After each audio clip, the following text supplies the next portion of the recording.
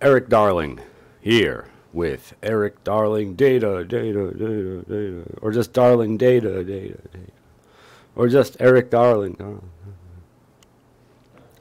Uh, we're going to talk about why ISNUMERIC sucks and why and, and why you shouldn't use it and alternatives you have to using it and i'm going to sneak in um, uh, also why i get annoyed with the try-cast function in some circumstances. So uh, let's start. Let us begin.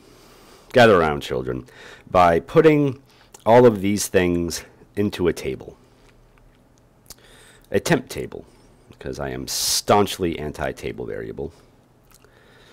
All right, so we have a dollar sign, a comma, a period, a 1 with some commas, a dash, a plus sign, uh, whatever CHAR 9, 10, 11, 12, and 13 is, I sort of forget. And uh, let's look at the output of this. Now, the ISNUMERIC function is dead certain that all of these things are numeric. Not numeric, darling, just, just numeric. So a dollar sign is numeric, a comma is numeric, a period is numeric, a 1 with two commas around it is numeric, a minus sign is numeric, a plus sign is numeric, and whatever the heck these blank ASCII characters are, are also numeric. Now, where TRY_CAST falls a little bit short on us, and well, not I mean not short.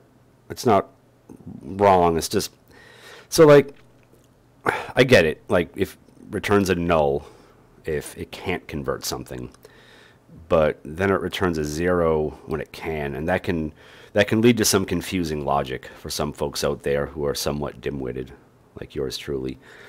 Um,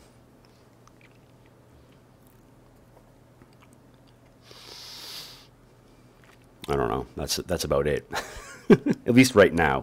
But uh, if you use a sort of reg regex-ish expression, you will get what I believe correctly are zeros all down this line here. And I always have to look this up whenever I need to do it, except now I get to look it up on uh, my blog because I have a post about it and I have this video about it.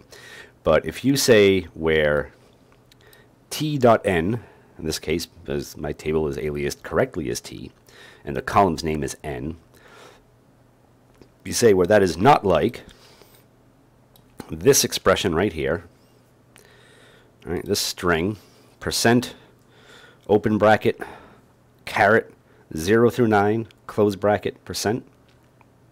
This will tell you if there are any characters in a row, well, in a, in a particular uh, you know, column row it, that uh, that are not the number zero through nine. And I know this logic is a little bit obtuse and feels a little bit backwards, but that's that's what we're looking for here. So that's good. Right? We can return consistent zeros for things that are not the numbers 0 through 9, which are probably the things that we care about the most. Um, if you wanted to make allowances for uh, dots and commas, you could do that uh, in here as well, but that is totally up to you. Now, where things get annoying for me with TRY_CAST it, and it, TRY_CONVERT, it'll do the same thing for both of these, is the whole point of can you try to do this for me? Is that you expect to get a null back if you can't do it. If you try and fail, you should get back a null. That doesn't always happen, though. Let's take, for instance, we do this. Explicit, explicit conversion from data type unique identifier to int is not allowed. Then return a null. Give me a null. G give me a null. I know it can't be done. I want a null back. Now, this is a, a not terribly common occurrence, I, I agree, but um, there are uh, at least various points in SQL Server's DMVs where uh, there are SQL variant columns, and those SQL variant columns, of course, are uh, you use that data type, that horrible mistake of a data type, because they have all sorts of different things in them. Some of those things are GUIDs. Some of those things are numbers. Some of those things are strings. Uh, there's just all sorts of crap jammed into them. And if you want to try to cast that column as something else, or if you want to try to filter on where, uh, you know, try cast to something sends back uh, a not null value, where try convert, try cast, try convert something is not null, which, you know, again, isn't the greatest idea query wise in the world, but if you're querying system DMVs, who cares really? You can throw all the crap at those you want and probably turn out just about the same because the code behind them is absolutely wackadoodles. So, anyway, don't use ISNUMERIC. Uh, try convert, try cast can be tricky. Uh, they can lead to some weird logic hoop jumping that you may want to do.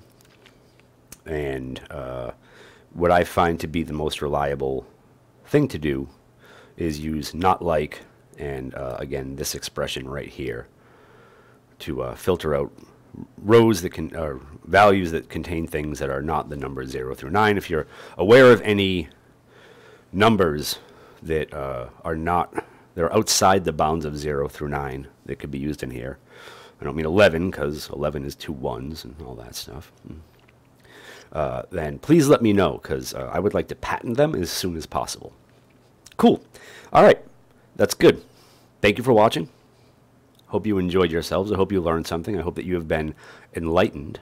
I hope that you have had quite the epiphany watching this video. Uh, if you if you feel enlightened and epiphanized, uh, please like and subscribe. Uh, I'll give you a dollar if you do it in the next 30 seconds, starting now. Uh, 30 seconds is up. Sorry about that. I move fast around here. All right, cool. Uh, thank you again for watching. You are beautiful.